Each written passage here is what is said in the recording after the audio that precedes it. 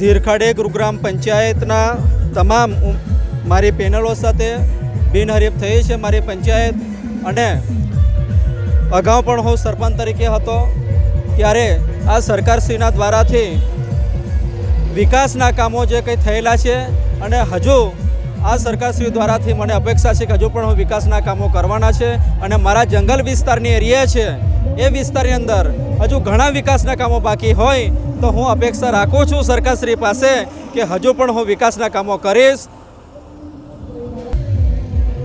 મારું નામ છે દિનેશભાઈ મંગાભાઈ, સરપંચશ્રી.